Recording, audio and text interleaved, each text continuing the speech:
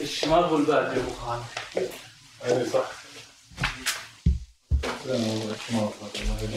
الله يهديك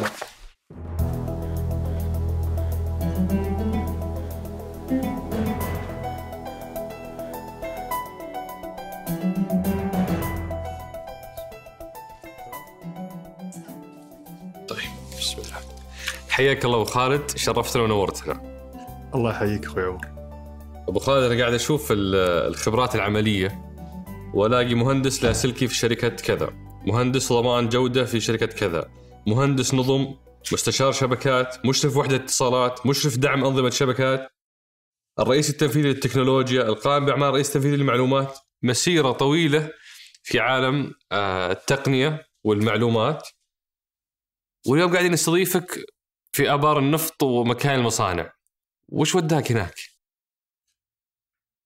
صحيح. آه حقيقة أنا industrial engineer دراستي لكن انضميت إلى شركة أرامكو. آه دخلت في مجال آه الشبكات وال wireless. طبعا كنا نخدم آبار البترول والمعامل الغاز وغيرها واللي هي حقيقة تعمل بشكل ذكي وتسهل وصول المعلومة إلى مراكز التحكم.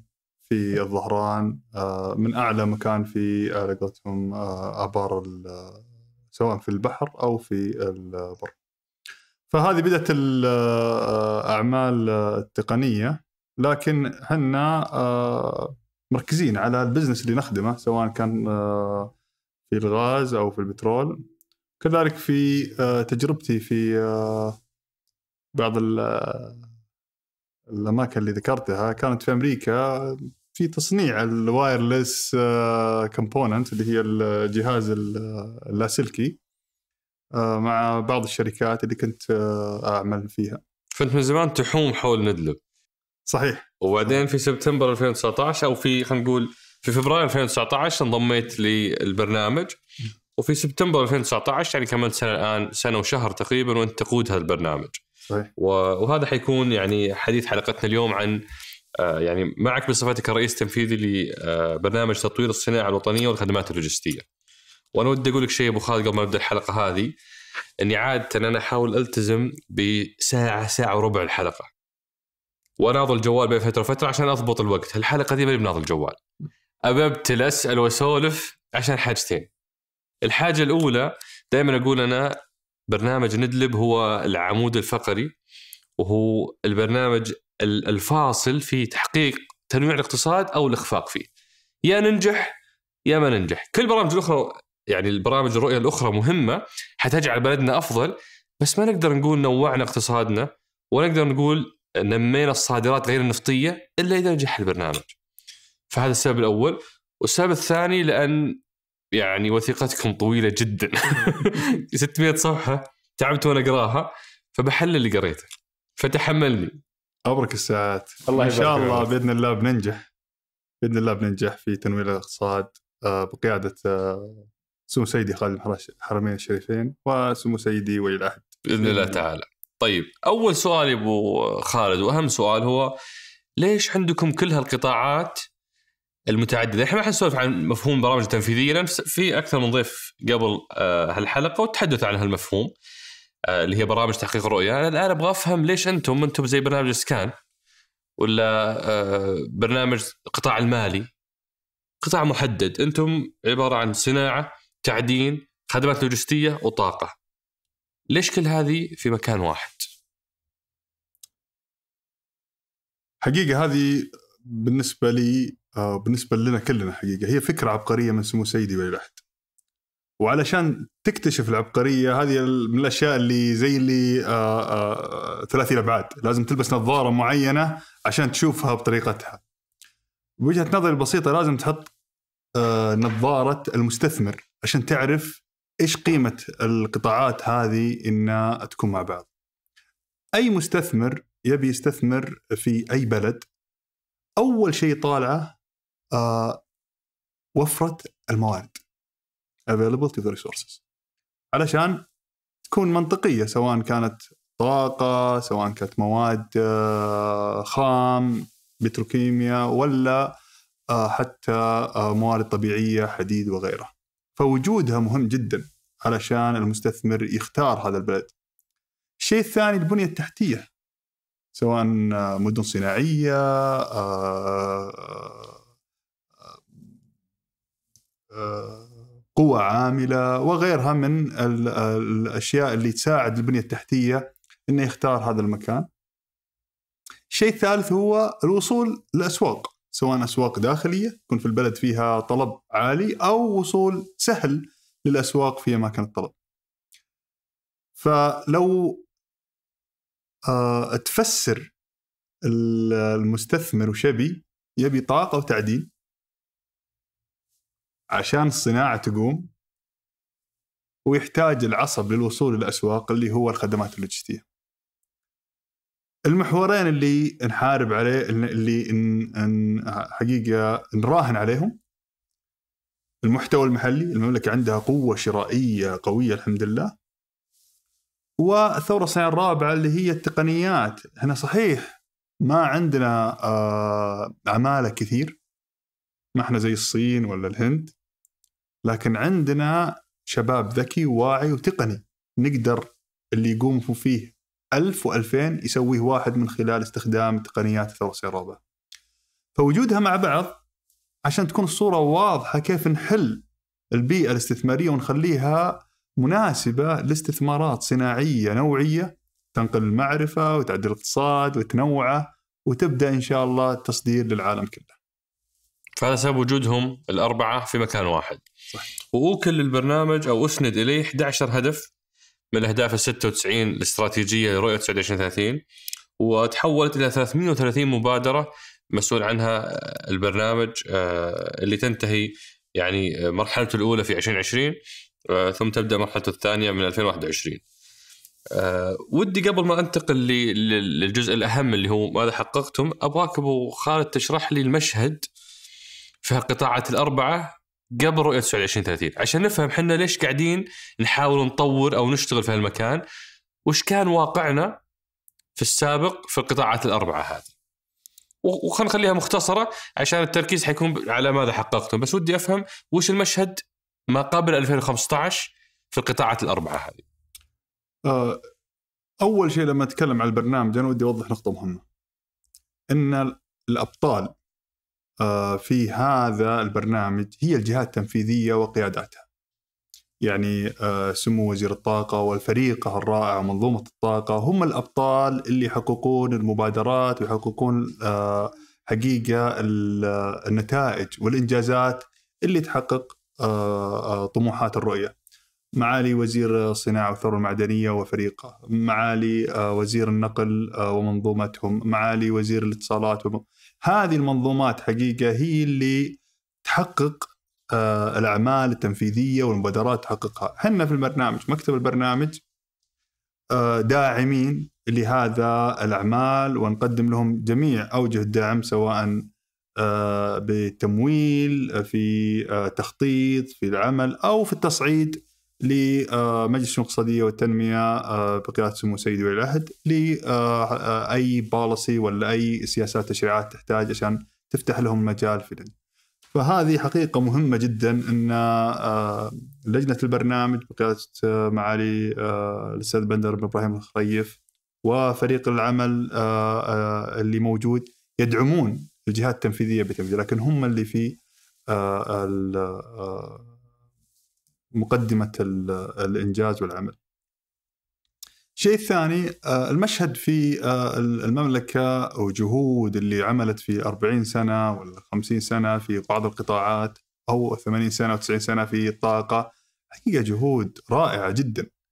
آه، نفتخر فيها. نفتخر بما أنجزتها وزارة الطاقة ومنظومة الطاقة. نفتخر بالصناعة اللي قامت حقيقة في الجبيل وينبع وباقي أنحاء المملكة. سواء بالأغذية وغيرها. آه، بالنقل حقيقة عندنا بنية تحتية وأصول رائعة آه، على مستوى المملكة. آه، الربط على المملكة إحنا رقم واحد على مستوى العالم. فالمشهد ما كان حقيقة سيء. بالعكس المشهد كان ممتاز ومشرف. طيب ليش نبغى نغيره؟ إحنا ما نبغى نغيره. سمو سيدي خادم الحرمين الشريفين وسمو سيدي ولي العهد رفعوا سقف الطموح. وحددوه إلى القمة.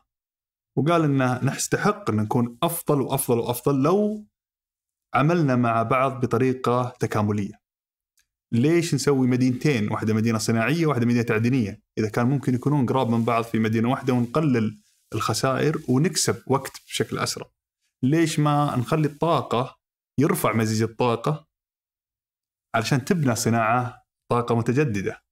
ليش ما نخلي الصناعة العسكرية مع الصناعة المدنية يشوفون يصير في عندنا طلب عالي فتقوم عندنا صناعات. العمل التكاملي دائما يجعل آه النتيجة أفضل. وزيرين مع بعض يشتغلون ممكن يحققون 1 بلس 1 يصير ثلاثة. لكن لما مجموعة من الجهات التنفيذية تعمل مع بعض العائد للوطن أعلى وأعلى وأعلى بكثير. فهذا هو الطموح. هو ما كنا سيئين ولا يعني حقيقة ندعي آه كان أحد مقصر لكن الحمد لله بالتكافل وبالتكامل مع الجهات تطلع النتيجة الأعلى. وكانت في فرص كثيرة مهدرة. يعني ولي عهد ذكر في لقاء مع داود الشريان أنه تمر قرابة 10 ولا 12% من التجارة العالمية في البحر الأحمر ومساهمتنا فيها 0% آه من حيث الخدمات اللوجستية وال و... والتزويدهم بالوقود والموانئ والمستودعات وإلى آخره. آه عندنا ثروة تعدينية تقدر ب 5 تريليون ريال وما عندنا صناعة تعدينية. فالمشهد ما كان مثالي، المشهد كان جيد بس في فرص كثير مهدرة. صحيح. صحيح بكل يعني أنت حطيتها وسمو سيدي حطها بنفس الصورة الواضحة نتكلم عن دور المينا كخدمه للصادرات والواردات كان مؤدي أداءه لكن كانت تمر كثير ما نقدم خدمات مع أن وزارة الطاقة عندها خدمات بترولية عالية ممكن تقدمها ممكن المناطق مداولة تصير رائعة ممكن الصناعه تحط لها بعض المناطق الاقتصادية الخاصة. لكن ما تجي هذه الأشياء إلا بالتكامل والتفكير كمنظومة متكاملة لتحقيق أهداف وطنية وليس تحقيق المانديت أو العمل المناط إلى هذه الجهة. فمن هنا ضاعت كثير من الفرص، إن الفرص اللي ضاعت كانت تتطلب إن أكثر من جهة يعملون مع بعض عشان يحققون منتج نهائي يخدم الوطن. وتعال خلينا نشوف الآن في محور ماذا حققتم وش الفرص اللي لحقنا عليها في السنة اللي فاتت. من من لحظة إطلاق البرنامج إلى اليوم إحنا في نهاية 2020 نبغى نعرف وش أبرز الأشياء اللي تم تحقيقها. وممكن نمسكها محور محور زي ما يقولون. أنتم عندكم أربع قطاعات. فخلينا نبدأ من البداية من قطاع التعدين والطاقة. اختر أحدهما وخبرني ما الذي حققناه في هالقطاعات. آه طبعا بلا شك آه قطاع الطاقة آه هو قطاع ريادي على مستوى العالم من المملكة. والمملكة في موقف يعني يخدم العالم كله من خلال شركة أرامكو السعودية وموقعنا في أوبك. فهذا حقيقة واحدة من الأشياء اللي حقيقة إحنا فخورين فيها. من خلال البرنامج عمل الجهات على تحقيق المستهدفات وتعدوها حقيقة مستهدفات 2020 أولا بما يخص الطاقة الاستيعابية للغاز. رفعناها حقيقة كانت 12 مليار قدم مكعب قياسي. الآن وصلنا إلى 18 مليار قدم مكعب وهذا وكان ال target في 2020 17.5 or 7 الحمد لله عديناها إلى 8 هذه طاقتنا؟ هذه طاقتنا الاستيعابيه للغاز ما شاء الله. آه الناحية الثانية كفاءة الطاقة. كانت كفاءة الطاقة عندنا 37% رفعناها إلى 39% هذا حقيقة آه قفزة كانت كنا نطمح فيها في 2030 الحمد لله حققناها في آه 2020 وهي تقريبا آه ما يكافئ آه 56 مليون آه برميل نفط مكافئ. تم حقيقة توفيرها. توفيرها من خلال آه، طب العمل. هذا شكله مهم ده يعني الغشمان مثلي شلون تشرح لهم هالمعلومة دي؟ وش اللي من 37 39% وش يعني هالكلام؟ آه، بكل بساطة الطاقة أنت تحط نوع من أنواع الطاقة ويطلع لك آه، آه، شكل آخر الطاقة تستفيد منه سواء كهرباء أو غيرها. نوع الطاقة اللي تستخدمها عشان تطلع الكمية هذه من ال- الكهرباء قد تستخدم أحيانا آه، نوع من الطاقة غالي ويطلع منه آه، كمية غير كافية. فالأصل إنك تستخدم أفضل نوع من الطاقة وأرخص نوع من الطاقة واللي يطلع لك أعلى قيمة من الكهرباء. البترول ومشتقات الديزل وكذا هذه تعتبر عالية التكلفة صحيح. ومنخفضه الكفاءة. صحيح. أنتم الآن قاعدين تستبدلونها بالغاز. صحيح. آه، فمن 37% إلى 39% الآن وصلتوا. صحيح. وهذا كان هدف 2030 صحيح. وتحقق اليوم. هذه جهود آه، أرامكو السعودية وشركة الكهرباء حقيقة والأعمال اللي آه، اللي قاموا فيها. هذا من جهة. كذلك من جهة ثانية الشكل الجميل اللي اشتغلوا فيه الإخوان في كفاءة وترشيد اللي هو العمل مع ال- المستهلك الأخير في المكيفات ذات آه، آه، الطاقة الحقيقة وال الموفرة هذه حقيقة أعمال برضو جميلة وحققت آه، مردود جميل على استيعاب ال- ال- الشبكة كم وفرنا في هذه البرامج؟ هل يحضرك الرقم؟ لا والله ما يحضر الرقم لكن ال ال آه، يتك- يتكلمون عن مرحلة الصيف في آه، 2019 كانت الأقل استهلاك على مستوى تاريخ ال- المملكة علشان الاستخدام الأمثل اللي صار هذا رغم إنه في نمو في السكان ونمو في الطلب. أه وبرجع لموضوع الغاز قبل فترة سمعنا عن اكتشافات ضخمة جدا في موضوع الغاز. صحيح أه وش وش فكرة هالاكتشافات؟ وش علاقتها بال 17 أو 18 مليار قدم مكعب؟ طبعا هو المعمل لما ينتهي ويبدأ يشغل هنا تبدأ الغاز جاهز للطرح لكن إحنا الحمد لله قاعدين برضو نكتشف آه، حقول بعدها تطلع عليها معامل إن شاء الله وتبدأ آه، تصير جاهزة أو تربط بمعامل عشان تصير جاهزة للخروج بس الآن الحمد لله إحنا شغلنا كذا معمل في آه، في أرامكو اللي وصلنا إلى 18 آه، آه، مليار قدم مكعب عظيم. أه الغريب إنه اللي يشوف كل هذا الاهتمام بمصادر الطاقة الطبيعية أيضا يشوفكم شغالين في موضوع الطاقة المتجدده. أنتم وين يعني تبون طاقة متجددة ولا تبون طاقة طبيعية؟ هذا دور المملكة آه، يعني ال- اللي اللي وضحته لك أن الريادي في الطاقة أنها أي طريق آه، لتقديم أو توفير الطاقة للعالم مو بس للمملكة هو آه، مهمة أخذتها المملكة على نفسها. صحيح إحنا معروفين بالبترول والغاز لكن أعطت المملكة حقيقة رسالة واضحة من خلال آه، سكاكا ودومة الجندل أول مشروعين آه، للطاقة المتجددة في المملكة. آه، سكاكا 300 آه، ميجا واط ودومة الجندل ب 400 ميجا واط هذا تقريبا ما بين 45 ألف بيت وهنا تقريبا 65 ألف بيت. هذه تقريبا رسالة واضحة أن إحنا متوجهين لمزيج الطاقة والبحث عن الطاقة آه، بجميع أنواعها. وما هو بس آه، كذلك آه، بس هذه من زمان نسمع عنها أبو خالد اسف على المقاطعه ولا شفنا شيء. لا موجودة. مشروعين هذه؟ سكاكا اشتغل في سكاكا طبعا ب 300 ميجا واط وفي بدأ المشروع؟ بدأت إنشاءاته؟ لا لا شغال شغال. ففي 45 ألف بيت اليوم كهربهم مغطى من مصادر طاقة متجددة. صحيح. هذا شيء تم وصار ما هو. مشاريع لا لا موجود. شغال. ودومة الجندل. دوم جينا على وشك. طبعا آه، الويند آه، يمكن شفتوها في ال- في واتساب، أشوف. واتسابات إنه بدأوا ينقلون ال- الأجزاء حقت ال- آه، الألواح حقت ال- آه، الرياح. لكن آه، المشروع إن شاء الله على وشك إنه ينتهي ونحتفل إن شاء الله ب- آه، بعمله زي ما احتفلنا بسكاكا. وبإذن الله إذا تبغى تزور سكاكا حاضرين. والله ودي. ابشر. بالعكس أبغى كم ساعة. يعني شوف هالمشروع اللي تحول اليوم حقيقة. لأن هذا من أوائل المشاريع اللي أعلن عنها ولي عهد في مؤتمر إطلاق الرؤيه سئل عن موضوع الطاقة المتجددة وتحدث عن هالمشروع تحديدا آه إنهم يخططون له. فاليوم انت تقول لي إن هذا المشروع انتهى واشتغل. صحيح. آه وش هدفنا في 2020 وش أهدافنا المستقبلية فيما يخص الطاقة المتجددة؟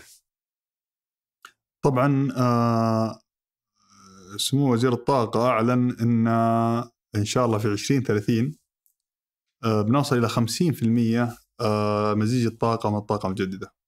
وهذا المستهدف الأكثر طموحا على مستوى العالم. آه اليوم كم؟ اليوم لا شيء صح؟ اليوم بسيطه هذه تجربة بسيطة حقت آه، 300 الأغلب اليوم وش من أي مصدر اليوم؟ الغاز. اليوم الأغلب من الغاز؟ صحيح. وجزء من الديزل والمشتقات البترول؟ وجزء لا يذكر من الطاقة المتجددة. صحيح. في 2030 نبغاها 50 50 50% من الطاقة. 50% طاقة متجددة وال50 الأخرى؟ غاز. من الغاز فحيكون صفر بترول مشتقات بإذن الله. وهذا يعطينا فرصة نستفيد منها petrochemicals تصدير وغيره. بإذن الله. آه، وش كان هدفنا في 2020 كان تقريبا آه 3% آه بس حقيقة ما حققنا كانت مجموعة من المشاريع. آه وإن شاء الله إنها آه ما زالت آه على قولتهم 2020 ما انتهى. مم. ممكن تطلق بعض المشاريع بس ما راح تنتهي إن شاء الله ب 2020 لا تاخذ وقتها. لكن الأساس يعني آه آه سمو آه آه، الوزير آه في طرحه. كان مهم إن المحتوى المحلي يكون جزء من هذه المعادلة، الرسالة واضحة وأطلقت للعالم إن إحنا متوجهين لهذا آه، التوجه. الآن المزيج هذا لازم يبنى معاه آه، محتوى محلي ومهتم آه، سمو الوزير بالمحتوى المحلي. وكذلك البرنامج يعنى بقيادة آه، معالي الوزير بندر إبراهيم الخريف في آه، حقيقة تأصيل المحتوى المحلي في جميع المشاريع المستقبلية في المملكة. فهذا يمكن سبب آه ل آه تعزيز التوجه انه ما يطرح المشاريع إلا بقيمة إضافية من المحتوى المحلي. بمعنى أنكم تبغون في مصانع تكون موجودة تنتج آه، لهذه المشاريع. صحيح تخدم هذه المشاريع. أوكي. وهذا هذا متوقع أن يكون قريب؟ بإذن الله. الله في وقت معين؟ آه والله ما أدري حقيقة متى بالضبط بتطلق ال- المشاريع في ستة مشاريع وبعدها في يمكن قدامنا إلى 25 تقريبا أكثر من 40 مشروع. 40 فنطمح- مشروع من الآن إلى 2025 إن شاء الله. وعندكم رقم في 2025 للطاقة المتجددة؟ نسبة؟ إي نسبة لا. أو رقم؟ لا والله جيجا وات؟ لسه لسه. لكن على حسب المشاريع إن شاء الله راح تكون إن شاء الله واضحة ومع في لجنة عليا يقودها سمو سيدي ولي العهد لمزيج الطاقة المتجددة. بنشوف إن شاء الله الأرقام كيف تكون آه، موافقة عليها. عظيم. هذا في قطاع الطاقة. قطاع التعدين. وش أبرز ما حققناه في السنتين اللي فاتت؟ آه، أنا ودي بس أوضح إن ترى برنامج آه، مثل برنامج ندلب آه، ثقيل من ناحية ال- البنية التحتية. يعني جميع أعماله ما راح تكون آه، ستة شهور وسبع شهور تشوف نتائج، لازم صح. نصبر على أعمالنا وهذا حقيقة مو عذر للسعودية لو ترجع لأسرع آه، الاقتصادات اللي بدت في العالم كلها على 17 18 سنة عشان بدأوا يشوفون العائد آه، الاقتصادي بشكل سواء كوريا الجنوبية ولا اليابان ولا ألمانيا ولا ماليزيا كلها تاخذ وقتها لبناء آه، البيئة الاستثمارية بالطريقة الصحيحة آه، جذب المستثمرين آه، صحيح نقل المعرفة لكن لازم التخطيط حقها يكون بشكل مباشر. فأهم شيء اشتغلنا عليه في اشتغلوا عليه الاخوان في وزارة الصناعة في قطاع البرنامج أو قطاع التعدين في البرنامج كان البنية التحتية الأساسية وهي بالنسبة للتعدين الأساس النظام. النظام الاستثماري. إن يكون في نظام استثماري شفاف جاذب للمستثمرين. الشيء الثاني المعلومات. التعدين آه، مبني بناء أساسي على كم معلومة تقدر تعطيني عن هذه القطعة من الأرض علشان أنا أتحمس وأجي أستكشف فيها. والحقيقة المعلومات اللي كانت عندنا بسيطة جدا. المعلومات اللي آه، بنطلعها من خلال البرنامج الأكثر حقيقة طموحا على مستوى العالم في الدرع العربي اللي أطلق قبل آه، يمكن آه، يومين برنامج يتم فيه مسح الدرع العربي استخراج معلومات ذات قيمة عالية ووضعها بين يد المستثمرين علشان يجون ويستثمروا في المملكة. وش كان المشهد سابقا؟ ليش يعني ليش المستثمر ما كان يجي؟ المعلومات كانت بالستينات يعني آه، آخر مرة تم المسح كان قديم جدا فالمعلومات آه، أول شيء غير آه، عميقة وبسيطه فما كانت تعطي أساس في كان مجموعة بسيطة من من الفرص معادن أو أو غيرها بس إنها كانت غير غير آه، آه، مغطية مساحات الدرع العربي وأنواع في ألف من المعادن النحاس والذهب وغيرها من المعادن اللي حقيقة آه، موجودة في بلدنا الغالي. والآن هذا المسح بدأ وتوقع عقده قبل يومين ولا عزمتوني. تعزموني المرة الجاية. بإذن الله. ترى حستنا كورونا. أعتذر من الجميع أن كورونا كانت تخلي دائما أن آه، نفتقد ناس غاليين يكونوا معنا في بعض الاحتفالات. عسى الله يقويكم. لكن النظام تحدث والمسح وانطلق. متى يكتمل المسح؟ آه هو يخلص في 25 خمس سنوات. الأولى المرحلة الأولى. يعني ما في مستثمرين قبل خمس سنوات؟ لا آه بالعكس. آه فكرة المسح جميلة جدا آه وذكية. أول ما يصير في معلومات عن منطقة ينطلق على طول شيء اسمه مسح مسرع يعطي معلومة إضافية عن هذه المنطقة وبعدين تطلع باكج آه، للمستثمرين. فبمجرد ما يجي ال indication الأول المعلومات الأولية عن هذه المنطقة وناخذ فيها المعلومات آه، خلينا نسميها فئة ألف من المعلومات تلقى فيها أن هذه المعلومات كافية أنها تنتقل للمرحلة الثانية، المرحلة الثانية هي المسح الأكثر وهو يعطي معلومات أكثر عمقا ومنها حقيقة تسلم آه للمستثمرين آه، للاستثمار فيها، فتطلع packages من الحين إن شاء الله إلى آه خمس سنين، متوقع إن شاء الله يعني نحصل أكثر من آه 40 مليار ريال من الاستثمارات. استثمارات 40 مليار خلال الخمس سنوات القادمة. إن شاء الله. هذا هو المستهدف. إن شاء الله. بإذن الله تعالى. في معلومة برضه أو خبر كان آه، غريب في قطاع التعدين اللي هو موضوع إنشاء شركة تعدين شركة للتعدين. خدمات تعدينية. أيوه وفي ناس كانوا يقولون معادن عساها بحملها تثور نروح نحط شركة ثانية تنافسها. آه لا. ليش ننشئ شركة؟ للتعدين وعندنا شركة ما بعد فلحت؟ لا هي ما هي شركة آه، تعدينية، هي شركة خدمات تعدينية، هي حقيقة موضوع الشركة هذه لخدمة المستثمرين بتقديم الخدمات سواء خدمات الترخيص خدمات المراقبة خدمات الإضافية للمستثمرين. هي ليست منافس لمعادن ولا منافس للمستثمرين بالعكس هي موجودة لخدمتهم. كيف؟ أنا الآن مستثمر وش تقدم لي الشركة هذه؟ واحدة من أهم يعني أه، المشاكل اللي هي أه، طلبات الترخيص. كيف أطلب ترخيص؟ مدة ترخيص؟ هذه الشركة بتساعدني في تسهيل أعمال الترخيص. وأجعلك آه، سواء كنت شركة متوسطة أو صغيرة أنك تكون آه، لك احقيه آه، الحصول على الترخيص.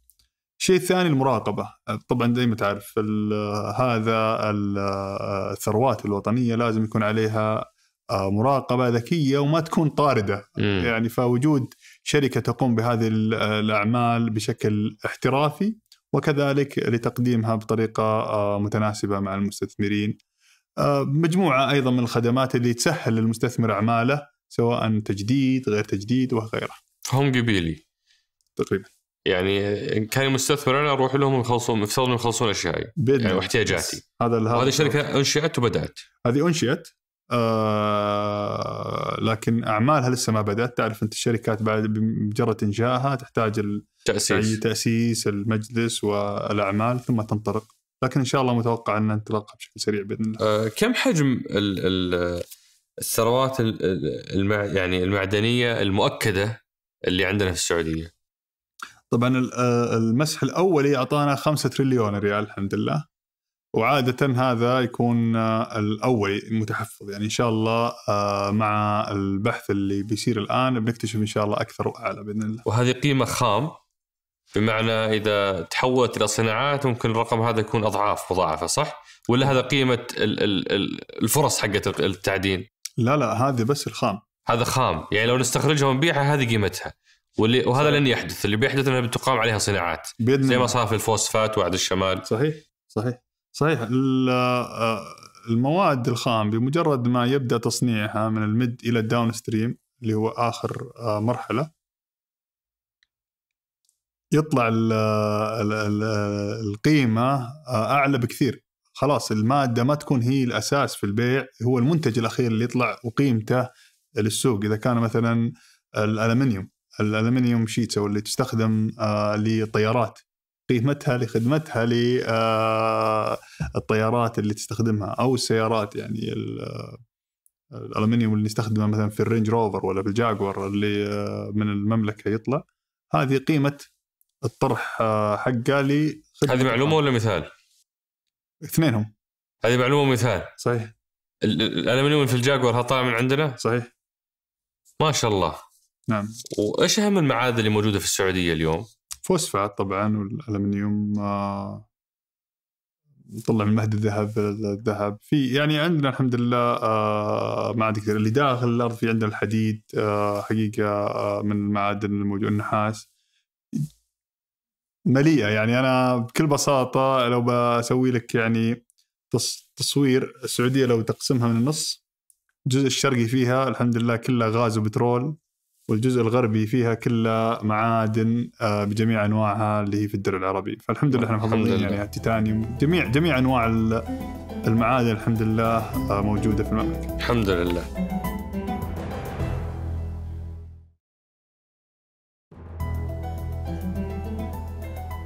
آه هذا هذه يعني معلومات جيدة عن قطاع التعدين. الآن نبغى نروح لقطاع الصناعة.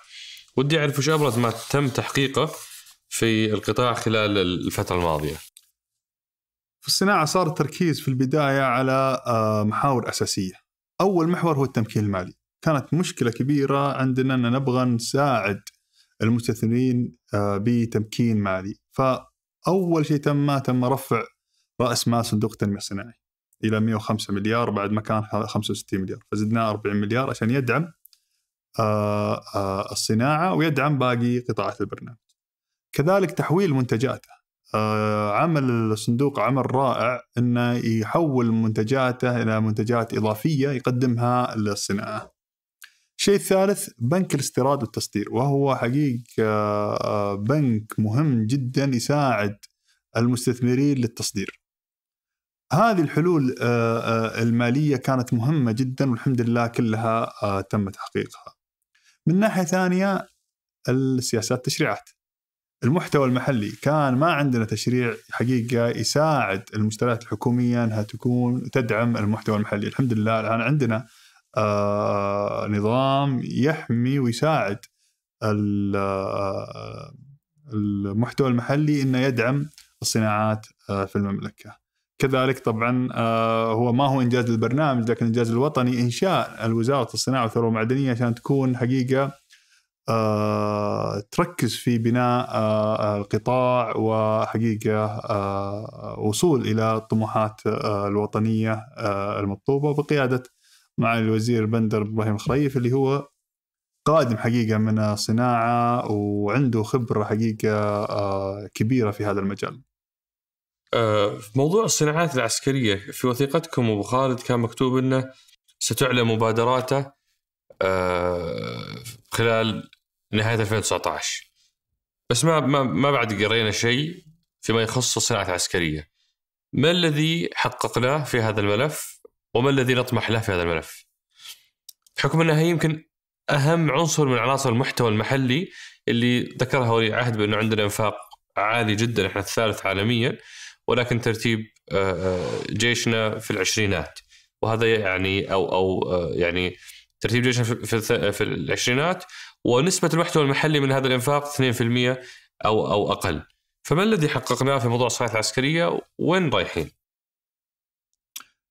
التشريع كان مهم. وجود هيئة العمل الصناعات العسكرية هذا كان جزء مهم ان تكون هي الرابط ما بين العرض والطلب. فحقيقة تكونت الهيئة والآن تمارس أعمالها بكل حقيقة جدارة. وأول آه، إنجازاتها كانت حقيقة آه، الرخص اللي بدأت تعطى للمصنعين آه، السعوديين للقيام بالأعمال. فهذا واحدة من الأشياء اللي إحنا نفتخر إنها آه، الحمد لله جت على أرض الواقع. اثنين طبعا قيام شركة سامي اللي هي شركة سعودية للصناعات العسكرية. بأعمالها واستحواذات لقيام حقيقة إن شاء الله شركة أخرى مثل المؤسسة العامة للصناعات العسكرية لخدمة هذا القطاع من ناحية آه، التصنيع. آه، هذه حقيقة هي الأساسيات اللي آه، بنت عليها آه، المرحلة. زي ما قال سمو سيدي أن عقود اللي راح تكون راح تكون مربوطة بمحتوى محلي آه، في آه، المملكة. ومن هذا راح تنشأ إن شاء الله كثير من الصناعات آه، العسكرية. وراح تكون في بعضها آه، صراحة مشتركة بين الصناعات العسكرية والصناعات المدنية. آه، وهذا حقيقة ال- الفائدة في وجودهم اثنين في آه، برنامج ندلب. يعني بكل بساطة آه، نتكلم عن الكفرات. في كفرات في المدرعات وفي كفرات في السيارات هذه فرصة هنا وهذا فرصة هنا. هل هذا ممكن تكون لنا فرصة متكاملة إلى م- وجود المطاط في آه، من منتجات شركة سابق؟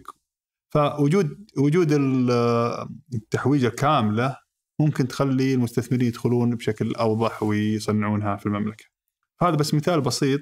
والأمثلة آه،. شفنا إحنا قبل يومين موضوع آه، آه، سفن الاعتراض كذا اسمها؟ صحيح. آه، هذه تم توطينها مع مصانع الزامل. صحيح. وهي جزء من عدة يعني آه، آه، مشاريع وعقود بالفعل فعليا تم يعني بدأ فعليا توطينها. صحيح. وهل عندك نسبة المحتوى المحلي اللي وصلنا له في الصناعة العسكرية؟ آه ما عندي لكن اللي أعرفه أن آه إن شاء الله آه نطمح إلى تقريبا آه آه نصل إلى نسبة آه في 20 30 عالية ل 50% إن شاء الله. لكن آه الأرقام الآن ما تحضرني حقيقة. آه هذا فيما يخص الصناعة وأنا يمكن ما, ما يعني ما حطول كثير في الصناعة لأننا موعودين بحلقة مع آه، أبو عبد العزيز مع أسامة الزامل إن شاء الله الأسبوع الجاي. آه ف يعني بنفصفصها هناك. فما ح- ما حنطول في الصناعة إذا هنا. تبغى أعطيك آه، عطنا عطنا اي عطنا غششني شوي. آه، وفي القطاع الرابع والأخير هو قطاع الخدمات اللوجستية. أنا ودي قبلها ابو أبو خالد تشرح لي وش يعني خدمات لوجستية لأن كل واحد قاعد يعرفها على كيفه. وعجزت أعرف وش ما هو نطاق كلمة خدمات لوجستية؟ وش حققنا فيها؟ جميل السؤال الخدمات اللوجستية أنا أقول إنها ثلاث مراتب. المرتبة الأولى وهي البنية التحتية. طرق موانئ مطارات. هذا آه، آه، البنية التحتية الأساسية اللي معتمدة على النقل. بعدين تجي المرحلة اللي بعدها وهي آه، مرحلة آه، دعم سلاسل القيمة وهي مثلا خطوط الملاحة وغيرها آه، اللي توصل آه، بعض ال- آه، الشاحنة بالقطار بالسفينة والتسلسل بينهم بحيث إنك تقدر توصل من منطقة إلى منطقة بالطريقة الأسهل لهم. بعدين تجي المرحلة الثالثة وهي آه، سهولة الخدمات والبروسيس جمارك آه، رخص آه، قيمة فلوس كم تكلفك عشان توصل. هذه الثلاث مراحل لازم يتطابقون مع بعض انها تكون آه، تنافسية كاملة أقدر أوصل للنتيجة حقتي. آه، أحيانا لما تروح تبغى تسافر إجازة ممكن تروح على قولتهم تاخذ من خطوط آه، السعودية إلى هنا وبعدين تروح من الخطوط الهندية إلى هنا وبعدين أو تروح مع موقع وتعطيه دور تو دور ويعطيك الزبدة كلها وهو يحل لك المشاكل ويعطيك أرخص طريق مسار مسار وأسهل شيء إنك تطق انتر وتدفع فلوسك مرة واحدة وانتهى الموضوع. هذا بالضبط نتيجة عمل ثلاثة آه، مراتب مع بعض. المطارات موجودة، الخطوط الملاحية يقدر يشوف وين توصل، بعدين شاف لك السعر الأرخص والطريق الأسهل لوصولك وقال لك ترى آه، و- م- وقفة ولا وقفتين و4000 ريال وتوصل إلى مكانك بشكل سريع. خدمات اللوجستية للبضائع والاستيراد والتوريد نفس الشيء هم يشوفون الطريقة الأسهل للوصول للسوق اللي يبغى يوصل له والمراحل الأسهل والأخف عليه من ناحية ال- ال cost والقيمة. فهذه تقريبا هي الخدمات اللوجستية اللي نحاول نقدمها للصناعة والتعدين والطاقة. أتذكر أنا في حلقة سابقة مع مع أبو محمد مع علي رميح رميح آه، كان في مد- يعني سؤال من أحد المستثمرين في القطاع وكان يقول له آه، حنا منسوبي القطاع اللوجستي ايتام ما لنا وزارة يعني تمثل مظلة لنا زي بقية القطاعات. آه، فهل ما زالوا أيتام منسوبي القطاع اللوجستي؟ آه، تبي الصراحة إي. آه، صراحة سمو سيدي ولي العهد ما أعطي اهتمام كلي للخدمات اللوجستية. وبلا شك إذا كان سمو سيدي آه، حاط اهتمام بشيء أكيد إنه ما هو يتيم. آه، لكن على أرض الواقع سمو سيدي آه، خادم الحرمين الشريفين أصدر آه، أمر سامي إن تنشأ لجنة خدمات لوجستية تنفيذية تحت برنامج ندلب بقيادة معالي وزير النقل وبعضوية أكثر من 18 جهة يجتمعون بشكل دوري آه، أسبوعي تقريبا لمتابعة القطاع تحدياته والمبادرات اللي آه، إن شاء الله آه، سيتم تطبيقها من خلال برنامج ندلب على طول آه، معالي الوزير المهندس صالح الجاسر أنشأ مجلس سماه مجلس الشراكة اللوجستي. وجاب ممثلين من القطاع الخاص. وصاروا في فريق عمل يعطون الملاحظات على الاستراتيجية يعطون الملاحظات على الملاحظات على المبادرات ويعطون التحديات وتروح على طول للجنة لحلولها وبشكل أسبوعي نشوف كم حلينا وكم تحدي باقي.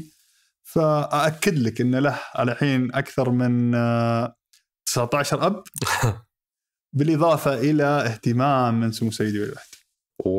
وهذه اللجنة هي اليوم تمثل ال- المرجعية التشريعية للقطاع اللوجستي.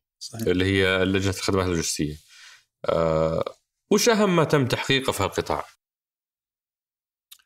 آه، يمكن واحدة من الأشياء الجميلة حقيقة اللي كانت آه، ينتظرها القطاع آه، الوصول لخطوط ملاحية جديدة أربع خطوط ملاحية جديدة إلى آه، شرق أفريقيا وإلى شرق آسيا وإلى العين السخنة والعقبة هذه حقيقة كانت آه، نقطة جميلة آه، التخصيص اللي صار في موانئ الدمام وجدة تقريبا أكثر من 16 مليار آه، من خلال آه، آه، شركات متعددة المفروض إنهم بيقدمون خدمات إضافية و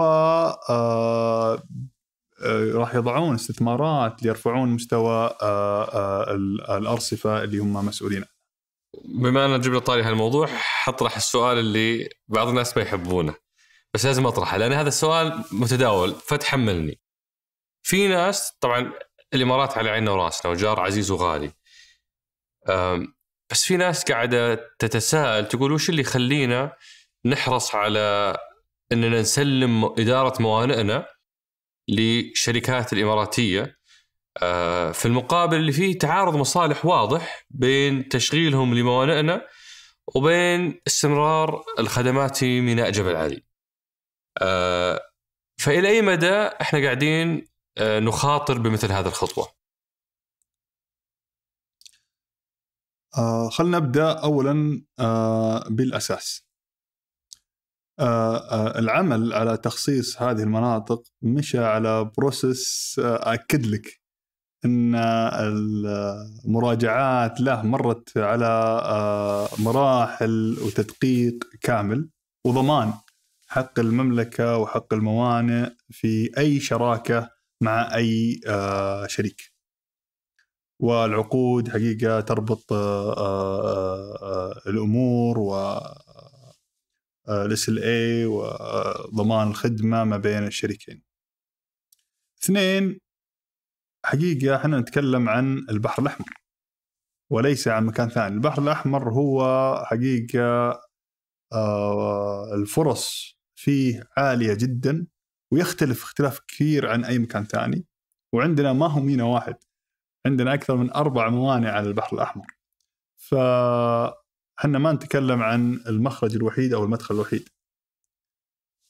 ثالثا أصلا إدارة الموانئ ما زالت ما هي عند آه، الشريك ولا بالعكس هو ماسكين جزء معين من مرحلة الإسناد. وش هو هالجزء؟ عشان أقدر أفهمه أكثر؟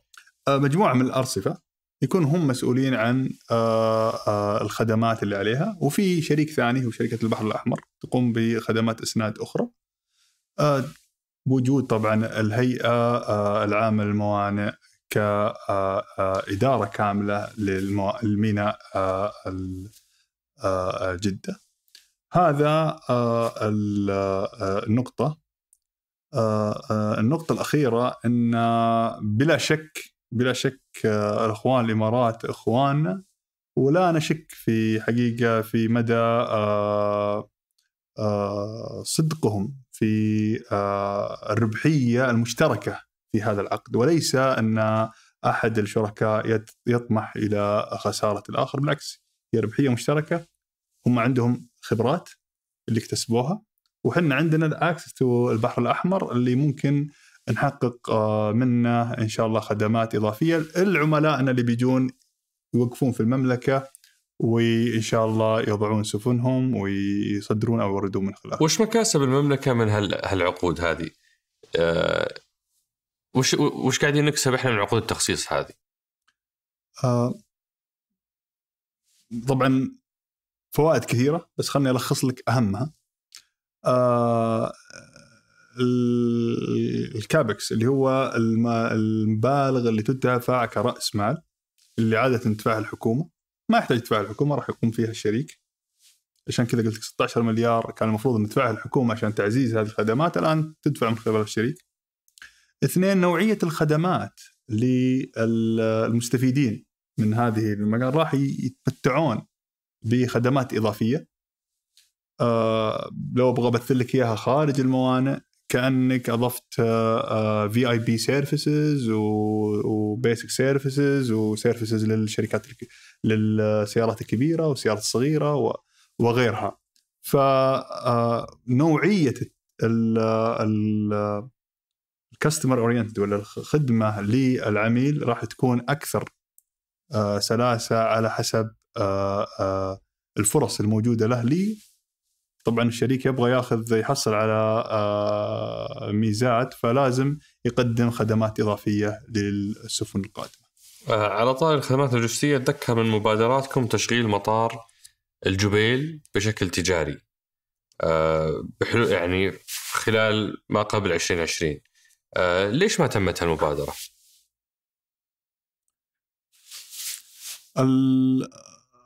بعض بعض الأفكار اللي انحطت في ال- البرنامج كانت مربوطة بالدراسة. فإذا نتجت من الدراسة طبعا حط حط المبادرة وتحط المنتج منها لكن إذا نتجت الدراسة إن ال ال الأفضل إن ما يتم آه، هذا الخيار ويختار خيار ثاني آه، ما ما آه، يعني ما نتم هذا العمل. مثال الجبيل آه، الدراسة إلى الآن آه، ما انتهت. ال- الخيار هل القطار اللي من جين الجبيل آه، والدمام راح يكون كافي لخدمة مطار الدمام بحكم إنه ما وصل طاقته الاستيعابية أصلا مطار صحيح. الدمام. أو أن بالفعل نحتاج إلى مطار تجاري في الجبيل. هذا الخيار إلى الآن آه، قيد الدراسة النهائية وحقيقة معالي آه، عبد الله السعدان آه، في الهيئة الملكية للجبيل وكذلك معالي المهندس صالح الجاسر ومعالي عبد الهادي المنصوري يجتمعون على الموضوع هذا للوصول إلى القرار النهائي هل آه، تستخدم الجبال أو نكتفي بالقطار؟ إن شاء الله اللي راح يكون هو آه، الطريق الأسلم للوصول للجبال كبديل. فهذا حقيقة آه، النتيجة. آه، كثير من المبادرات تكون مبنية على دراسات. الدراسات هي اللي بتقيم آه، أن ناخذ هذا القرار أو عدم أخذه. والدراسات حقيقة أحيانا تمر على آه، فلاتر لين ما توصل للقرار اللي إن شاء الله يكون الأصح. آه بسولف أنا وياك أبو خالد عن موضوع المؤشرات. آه اخترت أربع مؤشرات آه أولها هو مؤشر أداء الخدمات اللوجستية. هذا المؤشر منصوص عليه في رؤية السعودية 30 في الوثيقة وأنه هدفنا ننتقل من مرتبة 52 إلى مرتبة ال 25 آه بحلول عام 2030. صحيح. الواقع إننا قاعدين نريوس أبو خالد. نبتعد عن هدفنا. آه وش السالفة؟ إحنا ما نبتعد عن هدفنا ال KPI أو المؤشر نزل أدائنا آه، تقييم آه، الجديد حق ال PI طبعا التقييم حقهم آه، مبني على استبيانات آه، معينة ترسل آه، فجزء كبير من آه، آه، أهمية تسويق التحسينات اللي تقوم فيها المملكة للناس اللي تجيهم استبيانات آه، لأن بعضهم أكثر ما يرسل للمملكة ولا يتعامل مع المملكة. فمهم جدا إنه يكون آه، التواصل مهم. لكن ما بعدنا هدف.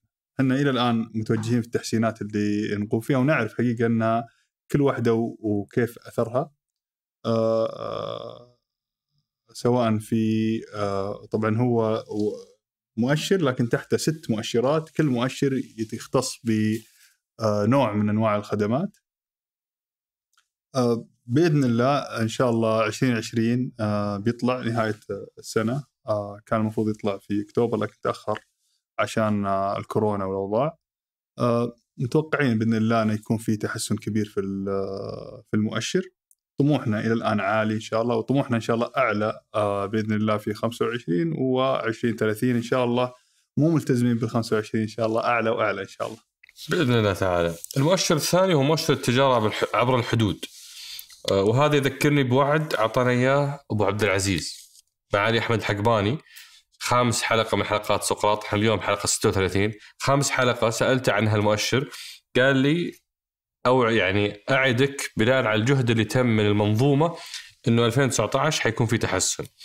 آه 2018 كان ترتيبنا 161 2019 ترتيبنا 86 فهذا المؤشر كان فيه آه قفزة جيدة. الحمد لله. آه، مؤشر تنافسية الصناعة لم نتغير فيه.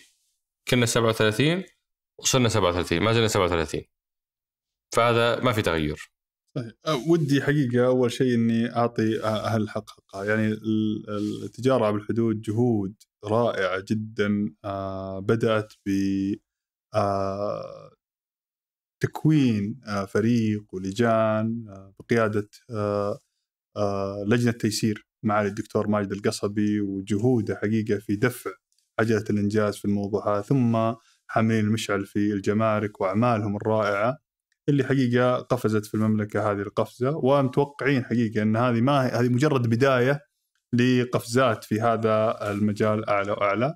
نشكرهم حقيقة على هذه الجهود ولها آثار على الخدمات اللوجستية على الصناعة على جميع آه، حقيقة قطاعات البرنامج.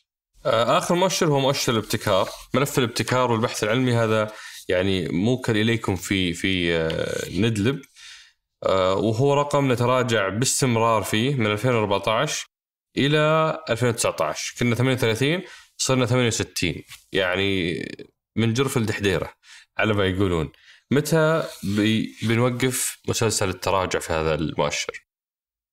طيب هو المؤشر ما هو موكل لنا. أجل؟ آه هذا مؤشر عالمي لكنه ما هو موكل لبرنامج آه ندلب لكنه إحنا نتابعه زي جميع ال- القطاعات آه، في المملكة لأنه مهم حقيقة آه أداء الابتكار. نقطتين آه مهمة في الموضوع هذا. البحث والتطوير والابتكار منظومة متكاملة.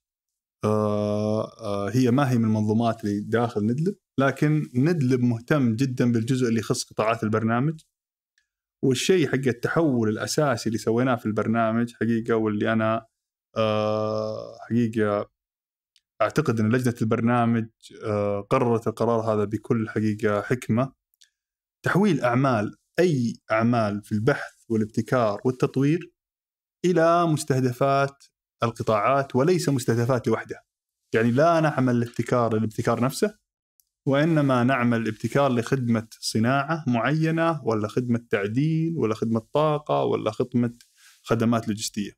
هذا التحول وربط المبادرة بالمستهدف على مستوى آه، آه، القطاع وعلى مستوى الصناعة خلانا يصير عندنا ال- العلاقة بين المسبب والنتيجة واضحة جدا. وهذا الحقيقة اللي بطموحه بنرى ان نقدر بريدج الطريق اللي ما بين البحث والابتكار وما بين السوق القطاع الخاص اللي لازم يشوف كيف يقدر يحول هذه الابتكارات إلى أرض الواقع. نتمنى إن هذا التحول يطلع لنا نتائج ابتكارات حقيقية نراها في السوق آه تجي آه على قولتهم موازية لمنتجات صنع في السعودية. هذا الطموح حقنا يصير عندنا منتجات مبتكرة عليها صنع بالسعودية ومصنع ابتكاراتها في آه المملكة. وترتيبنا في 2020 وين وصلنا؟ آه 66 66 مهم. ف... فالآن إحنا بدينا نتقدم وقف النزيف وقف النزيف وإن كان وقف وقف طفيف صحيح بس آه، يعني خبر جيد إننا على الأقل وقفنا النزيف. آه، في مجموعة مبادرات أبو أبو خالد يعني آه، لقطتها من الوثيقة أبغى أبغى تعليقك السريع عليها إذا إذا سمحت عشان الوقت. في مبادرة تأمين اتفاقية مع مصنع رئيسي لتطوير صناعة السيارات في المملكة بحلول 2020. هذا الأمر لم يتم. لماذا؟ صحيح حقيقة صناعة السيارات خليني أقول لك عمر ليش المملكة مهتمة بصناعة السيارات؟ مم، صناعة السيارات هي صناعات معرفية. لما تجي الصناعة تجيب آه، قيمة معرفية عالية للبلد. لأنها آه، أول شيء فيها الإنجينيرينج ال- فيها آه، الإلكترونيكس فيها الحجم معرفي كبير من ناحية ال ال- سواء المخزون الداخلي بالاحتراق أو حتى الكهربائي وغيرها. فهذه الكمية من المعرفة لما تجي البلد تفتح صناعات آه، أخرى وتجذب طلب لباقي الصناعات سواء حديد ألمنيوم وغيرها. فهذا هو السبب الأساسي اللي خلى المملكة مهتمة بصناعة السيارات. الطريقة الأسلم في جلب آه هذه الصناعة أنك تشوف أحد الشركات العالمية اللي آه متقدمة في هذا المجال وتجذبها أنها تفتح مصنعها في السعودية وتبدأ مرحلة نقل المعرفة بهذه. وهذه حقيقة الأسلوب اللي اتخذوه في جميع أنحاء العالم الطريقة الناجحة آه لجذب آه هذا المستثمر يجب أن نقدم تسهيلات ونقدم آه محفزات. أحيانا آه نصل إلى اتفاقات وأحيانا يكون المحفزات المطلوبة أكثر كثير من العائد آه المعرفي اللي بيطلع منها وممكن نحصل عائد معرفي عن طريق شكل آخر. فإلى الآن ما وصلنا إلى هذا الاتفاق آه اللي يكون فيها آه ربحية للجميع. وين وين؟ بحيث إنه يجي ويفتح مصنعه وحنا نكسب المعرفة. فعشان كذا تأخر هذا آه الاتفاق. هل ألغي؟ آه لا ما ألغي. آه اقتناص الفرص جزء من آه البرنامج وجزء من أعمال آه آه الرؤية. لكن آه إلى الآن حنا آه لم نجد آه ال- ال- ال- الحل النهائي. آه من ناحية ثانية آه آه السوق تغير. آه، أول شيء آه، طريقة عمل السيارات وجود أوبر وجود آه، غيرها خلت كان الواحد يستخدم السيارة ويوقفها طول اليوم. الآن صار واحد ممكن يستخدم السياره طول طول اليوم ويخدم فيها أكثر من شخص. فاستخدام السيارات بعدد قل لكن الاستخدام حقها زاد بالساعات في اليوم. نوع السيارات هل هي كهربائية؟ هل هي هيدروجينية؟ وطموحات أرامكو حقيقة؟ والأعمال الجميلة اللي تسويها لدفع عجلة صناعة ال- آه، الهيدروجينية. كلها تعطينا تصور إنه ممكن ما يكون الاحتراق الداخلي هو الخيار الأمثل لجلب التقنية وإنما ممكن خيار ثاني. فتقريبا هذا ملخص عن وضع السيارات. أنا طلبت مني بسرعة بس أنا اسهبت لك. في في أبو خالد آه، أربع شركات كانت مبادرات موجودة عندكم ولا شركة منها تمت. شركة بطاريات الليثيوم. شركة طاقة شمسية إنشاء شركة طباعة ثلاثية ابعاد إنشاء شركة العاملين الصناعيين. في تقريبا كل مبادراتكم اللي كانت مرتبطة بإنشاء شركة لم تتم. وش السالفة؟ ناقصكم راس مال؟ هذا نقطة مهمة حقيقة إن آه، في بداية آه، تحليل آه، برنامج ندلب طلعت متطلبات أساسية. يعني لو أرجع معاك آه، أخوي عمر إلى السبعينات لما أو آه، على قولتهم آه، بداية آه، الستين نهاية الستينات السبعينات لما بدينا بنسوي سابك نعم. كانت في متطلبات. كنا نحتاج هيئة ملكية نحتاج غاز من أرامكو ونحتاج شركة سعودية اسمها سابك لتقود تصير أنكر كمباني إنها تقود صناعة البتروكيميكال في المملكة. كانت هذه الثلاث آه، نقاط أساسية في أشياء ثانية مهمة حقيقة صارت في آه، المرحلة هذيك بس كانت هذه الثلاث أو أربعة ركائز اللي بنت عليها صناعة البتروكيميكال في المملكة. لما جو ال- آه، الإخوان كذلك يسوون خارطة الطريق لصناعة السيارات الكهربائية قالوا لازم شركة بطاريات ليثيوم. لما جينا نتكلم عن صناعة الثورة الرابعة قال لازم يكون عند شركة آه 3D. 3 دي برينتنج فوضعت كثير من الشركات اللي لازم تقوم علشان تكتمل آه، آه، الصورة حق التجمع هذا لكن بعد الدراسة لهذه الشركة وجدنا أن بالماتشوريتي حق ال- السوق عندنا والقطاع الخاص ونضجه ممكن يقوم فيها القطاع الخاص لو حصل المحفزات المناسبه. فما هو لازم ان الحكومة هي اللي تبني هذه الشركات. وهذا التوجه إن المرحلة القادمة تكون قيادة فيها للقطاع الخاص وليس للحكومة في هذه الشركات. فدعم القطاع الخاص إنه يكون في آه، آه، في كرسي القيادة. جميل آه، أنا بختم هاللقاء الجميل بمجموعة من أسئلة أصدقاء سقراط الكرام وصلنا تقريبا 83 سؤال. سلمناك إياها بالكامل. فالأمانة وصلت. الآن إحنا نختار منها بعض الأسئلة اللي يسمح فيها الوقت. آه، وأطرحها عليك قد ما نقدر ناخذ منها. في هنا سؤال يقول ذكرتم في وثيقة البرنامج أن أحد المبادرات المحورية هي تشكيل لجنة وطنية للبحث والتطوير والابتكار بهدف حوكمة القطاع ولكن إلى هذه اللحظة لم يتم ذلك. صحيح. آه طبعا آه الدراسة آه أكملت الحمد لله. ورفعت آه آه لمجلس الاقتصادية والتنمية للبت فيها. وفي يعني آه إن شاء الله تطورات قريبة بإذن الله. ونشوف نتائج إن شاء الله إيجابية. محور البحث والابتكار والتخطيط والبحث والتطوير والابتكار محور مهم. وطني. آه، سمو سيدي ولي العهد مهتم فيه جدا. وباذن الله قريبا يعني آه، إن شاء الله راح آه، تكون نتائج الدراسات آه، ترى أرض الواقع إن شاء الله. واحد هنا يسأل يقول لا يوجد صفحة بالإنترنت للبرنامج أو حساب في تويتر أو تحديث الأخبار أو تطوراته.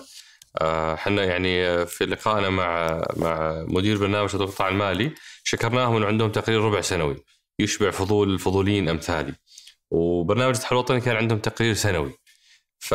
فيعني أضعف الإيمان أعطونا تقرير سنوي. وان كانكم بتشدون حيلكم أعطونا تقرير ربع سنوي. صحيح. إحنا حقيقة اعتمدنا على آه، موقع الرؤية وحساب تويتر حق آه، الرؤية. حقيقة عرضنا فيه آه، التقرير.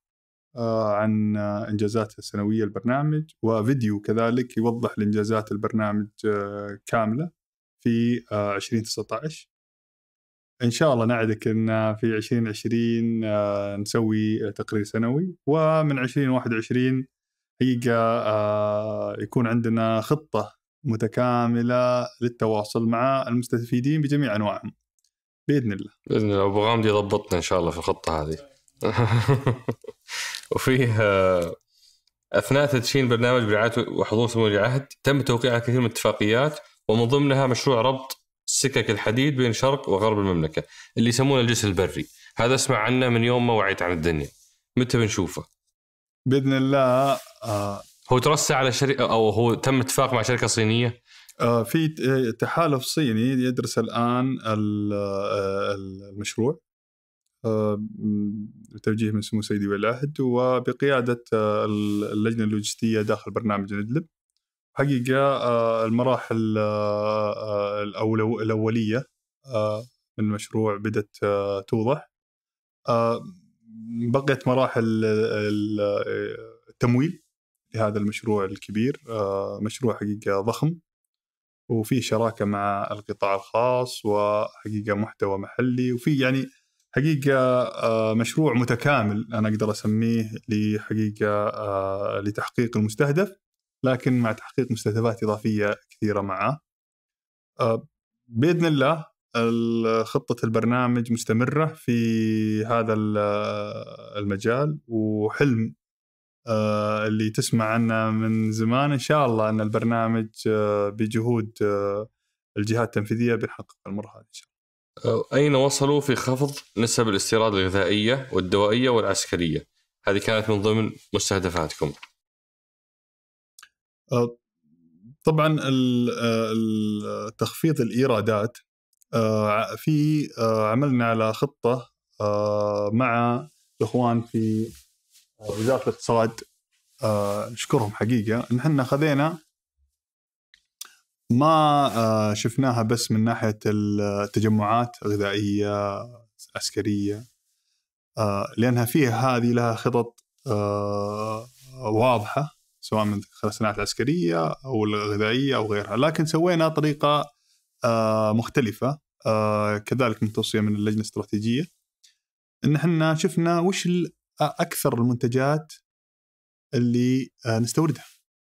سوينا أهم 100 منتج. أو أكثر 100 منتج.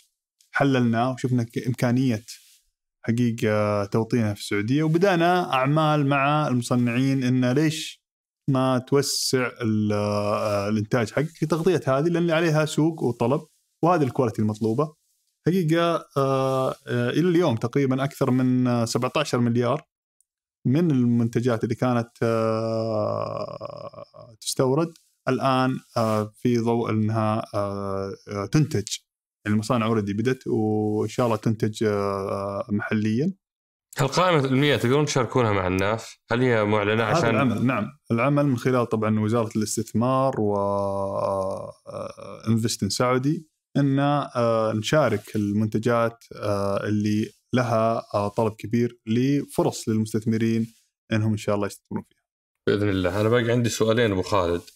السؤال ما قبل الأخير آه، أنت كان عندك ورقة تفاوضية قوية جدا عشان تقنع ولدك أنك تنقل من الشرقية للرياض أنت كنت مقيم في الشرقية وانتقلت للرياض للعمل في برامج تحقيق الرؤية وك- واستخدمت ورقة تفاوضية قوية جدا مع ولدك خالد الله يحفظه آه، هل أوفيت بوعدك؟ آه، لا لسه طبعا لا لسه إيش كان الوعد؟ وعلمنا ليش ما لم توفي لم تفي به. أنا حقيقة هذه موضوع المفاوضات مهم جدا مهم جدا في الحياة الشخصية. أنا عندي كان ورقتين ورقة لزوجتي وورقة لولدي. ورقة خالد خالد ما يحب المطبات. يعني من يوم ما نركب السياره هو المطبه هذه بابا المطبه هذه. فقلت لا أنا بروح الرياض علشان أعلمهم عن أماكن المطبات علشان آه إن شاء الله يشيلونها. أنا ما أوفيت بوعدي لكن حقيقة في برنامج التحول الوطني طلعت فكرة رائعة حقيقة وطبقوها الأخوان في الوزارة اللي فيه رقم. لما تشوف أي مطبة تبلغ عنها ويجون آه، يعدلونها. وهذه حقيقة مرحلة أولى حقيقة للوعد لكن بإذن الله إن شاء الله آه، مع التطورات اللي يقومون فيها الأعمال الأخوان في التحول الوطني تزيد. وحنا الآن مع وزارة النقل إن شاء الله نطمح أن نغطي آه، باقي الأشياء ويصير إن شاء الله طرق ترى مو بخالد الحاله الكثير الكثير متأذي من المطبات. فشد حيلكم. الله يعين. هذا هذا هذه كانت ورقه والحمد لله وافق عليها. آه، إن شاء الله ما يكون ندمان الحين. آه، سؤالي الأخير أبو خالد.